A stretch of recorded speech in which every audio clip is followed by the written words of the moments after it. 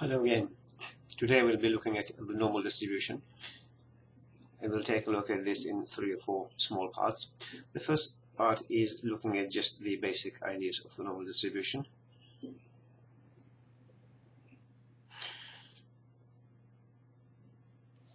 Most of you may have seen this normal distribution before. It's one of the most useful distributions. It's a continuous distribution. we'll take a look at understanding the basic properties of the normal distribution, taking a look at how to get probabilities from the tables as well as from R. So both are important because in exams, of course, we won't have R. Um, taking a look at then sums of normal random variables, and then solving problems using just the individual normal random variables and then sums of random variables. So, first of all, basic idea is this. The normal distribution is a very important continuous distribution. It has two parameters, the mean and the variance, and both of these need to be specified or you must be able to obtain them in some way before you can work with this distribution. So the notation we use is we say random variable x here, this n stands for normal, and the mu is specified, and the variance. So note very carefully, it's the variance here that's specified and not the standard deviation in the end we do more work with the standard deviation, but the notation we're going to use is using variance there. Now, we know that if I then scale this in some way, if I put y as something, a constant a times x plus b, then the mean of y is scales in the same way, so it's a times the mean mu plus b. The variance is scaling only by the a and a squared, so it becomes a squared variance, a squared sigma squared. And so, in this situation, the normal is a special distribution because then y also has a normal distribution. And the mean is, as we worked out, a mu plus b, and the variance is a squared sigma squared.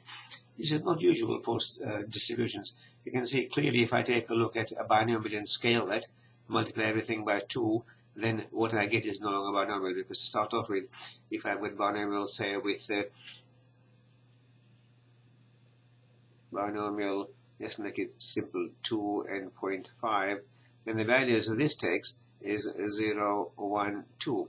If I multiply this whole thing by 2, now it takes values 0, 2, 4, and that can't be binomial anymore. So it doesn't work always with distributions. Normal makes this uh, happen, and that's why this is so special.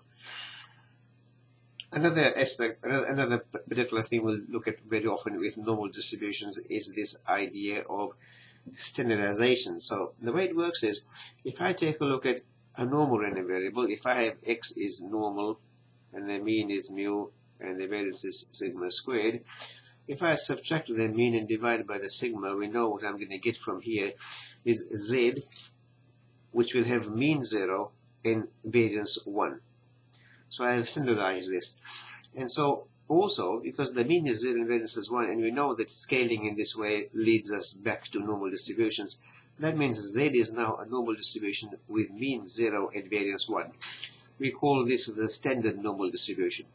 And in fact, if I start with a standard normal distribution and I scale the thing in this way, then what I've done is I've shifted the mean and I've multiplied by the sigma. What I'll get is then the mean of x is going to be mu. Z has mean 0, so that doesn't come into it. And the variance of x is, that's a constant, right? And so all I get is sigma squared variance of z, and z has variance 1. So sigma squared. I get x is normal mu sigma squared. Look at this slide carefully afterwards and make sure you understand the basic ideas behind this. So I can scale back and forth. I can take something that's normal mu sigma squared and get normal node 1 out of this. And I can get something that's normal node 1 and scale it to get mu sig normal mu sigma squared out of that. This is a very important aspect of normal distributions. So the way the changing of the mean and the variance affects what the distribution looks like is given in this slide over here. So I've got here a sketch of normal distributions with different means and different variances.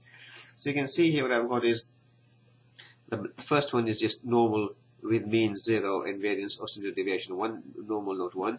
And then I shift the mean to 4. So the mean shifts, but the shape's exactly the same. I have maintained the standard deviation standard deviation so this is this is the, the blue curve there so this one here is normal node 1 this is again normal but the mean here is now 4 the variance remains to be 1 So the mean has shifted to 4. Whereas this red one here is now normal. I've maintained the mean at 0, but I've changed the standard deviation to 4. So variance is 4 squared. So you can see here, this still is centered around 0, but it, it has a much larger spread. So this is how the distribution changes in location and shape if I change the mean and variance.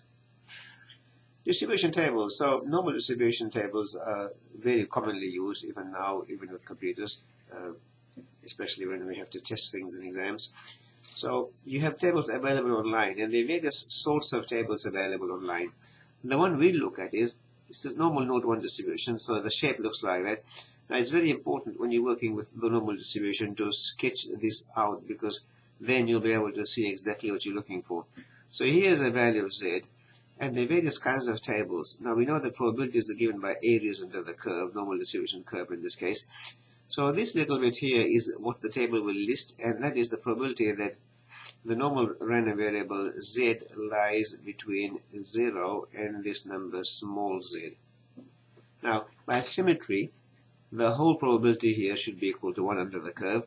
So below 0 will be 0.5, so that bit here is 0.5, and above 0 is also 0.5. So this bit here remains as 0.5 minus this probability here. Let me call this P. So by having this little bit here, and by using the symmetry of the curve, and the fact that 0.5 lies above 0 and 0.5 lies below 0, I can work out any probability I need. So be careful with this and make sure you understand how this works. The geometry here is what will help us. Always sketch the curve out. It will help you. So there are two kinds of problems usually with normal distributions. The first is just simply looking at the table for probability maybe by doing some scaling first so here we require probability the other is where I have a probability and now I want the value of the normal distribution itself this is called the inverse problems and in general in mathematics inverse problems are very much more difficult. Here it's not so bad because we can just look up the tables as we will see. So we'll go through some examples here to see exactly how this works. So let's start. The first is I've got a normal 1 distribution and now one probability of z is less than 1. So the sketch here will simply be this. Here my axis, here's my normal 1 distribution and, and this value is the mean 0 that's 1 I want the probability of lying below 1 so I want everything below 1 now I know below 0 is 0.5 and this part here I'll be able to get from my tables. So here are my normal distribution tables. It tells you what it's actually going to give you. It'll give you the value of the probability between 0 and z as it indicates in the shaded part here. And the way it looks like here is the value of z, this thing here, is given in the first column and across the top. So the first column here gives you the first decimal point, and uh, across the top I get the second decimal point. In this case, I wanted the value of z to be 1, so I'm looking for probability of z less than 1. So I look up 1 in the table. So here is 1, 1.0, and I want 0 as well. So I'm looking at this location here. Probability is 0.3413. You'll get more practice with this in your tunes and in the lectures, so you can ask tutors questions if you wish, if you're stuck with this. So again, I'm looking at 1.00, and I want the second decimal place, place to be also 0. I'm looking at the first column, probably is 0.3413. And so that means and this bit here is 0.3413. So probability of z being less than 1 is what is the 0.5 for the first part below 0 and then I add on this point 0.3413 and I get 0.8413 that's basically how simple this is almost always. Next part probability less than z probability of z less than negative 1 so if I sketch this out again as I said the sketch is very useful in this case it will help us to work out the geometry of this situation. And I'm looking here at negative 1. That's the bit I want. Now again, I know that essentially if I use the symmetry straight away, if I go to 1 over there, the probability above 1 is the same as probability below negative 1. And I know this is the part the table will give me between 0 and 1. And that was 0.3413 from before. So this part also by symmetry is exactly the same, 0.3413. So the bit I want here, this part, is going to be 0.5 minus this little bit here. So probability of z less than negative 1, the tail probability, 0.5 minus 0.3413 and so that comes to 0.1587 so you can see here I use the symmetry of this situation and the fact that below 0 is 0.5 and, and likewise above 0 is 0.5 probability of z being bigger than 1 well this is exactly in fact what we've just worked out in the previous example. If you look at this then I'm looking at a normal 0 to 1 distribution and I want probability is 0, probability of bigger than 1. That's that part there. The table has given me this as 0 0.3413. So probability of z being bigger than 1 is 0.5 minus that.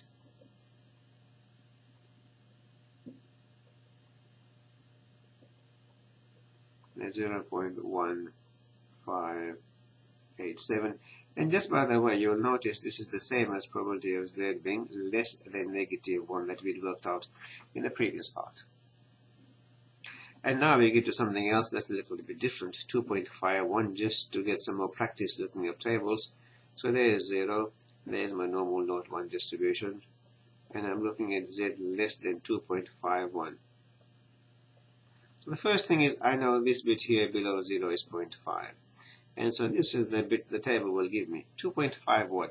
So here's my tables. I'm looking at 2.51. So I know that there is 2.5, 2.50, and the 1 comes in the top row, and there's 0.1, 0.01 there. So this value here corresponds to 2.51. 2.5 from there and the 0.01 from there, 2.51. Second decimal place is across the top. And that's 0.4940. So in other words, that probability there is 0.4940. So probability of z being less than 0.5 is again, as before, that part added to the below the 0 part. So it's 0.5 for below 0. And I'm going to add there 0.4940. So we get 0 0.9940. So this is exactly how simple this is. In the these initial problems, we're looking at simply the normal 1 distribution, and all we need to do is look up the tables in the right way. As another example, z less than 1.96 in absolute value. So for those who aren't sure of this absolute value idea, what essentially that means is let me just get the normal distribution out first.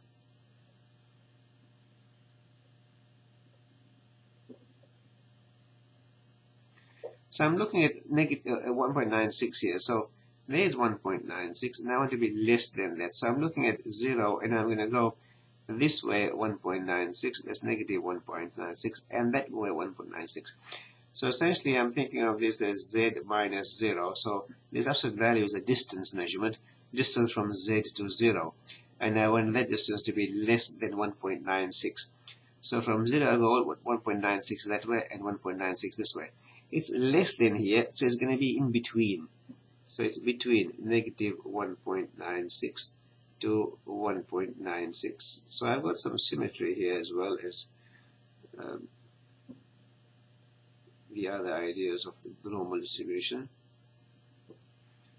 so I'm looking at that now. Of course, uh, the bit between 0 and 1.96 is the same as the bit between 0 and negative 1.96.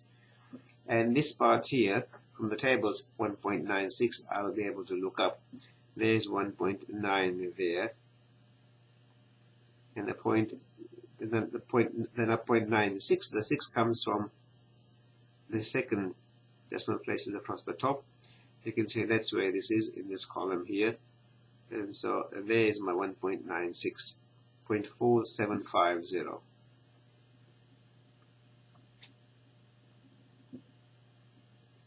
and so because I've got symmetry here this probability as z in absolute value is less than 1.96 is simply 2 times this 0.4750 and that comes to 0.95 that's a very important number. This one here we'll be seeing often is 1.96 last part here. The value of z such that probability of z less than small z is 0.9505 so this is part of the inverse problem where I now have the probability and I want the z value. The first thing to notice is that below 0 is 0.5 and this probability here is above 0.5 so my value z must be on this side somewhere. Since that's 0.5 the remaining bit here is 0.4505 so the sum here comes to 0.9505 and so what I'm going to do is look up the table, but this time I'm looking at probability. I want the probability to be 0.4505. So I look in the tables, 0.4505, and I'm finding it, there it is. And the value of z it corresponds to is 1.6 from here, and 5. So it's 1.65.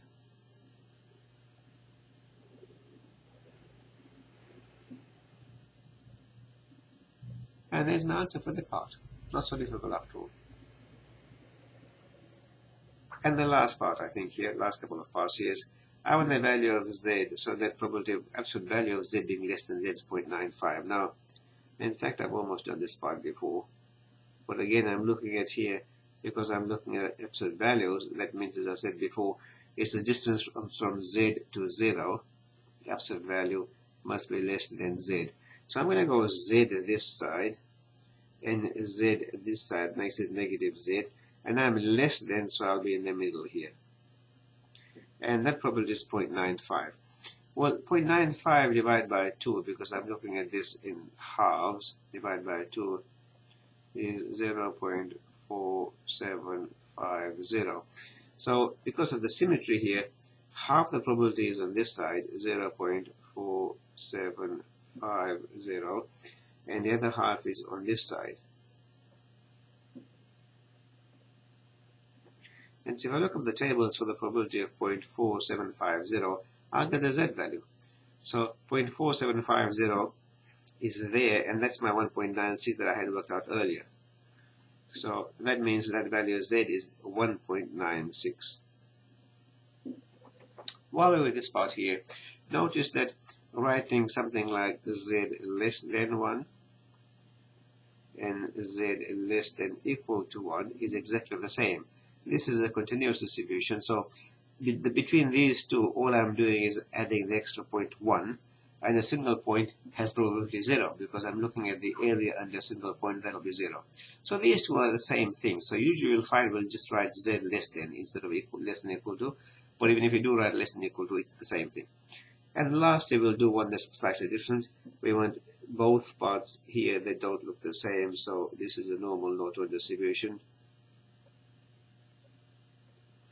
and I want probability between 2.7 and negative 1.5 so essentially I look up the table in two halves. 2.7 if I look up gives me that probability there. So I go to 2.7 and there's 2.7 that's 0.4965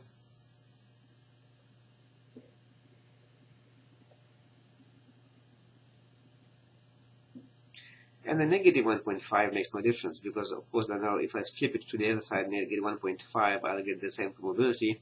So I'll look at 1.5 here, and that's 0.4332.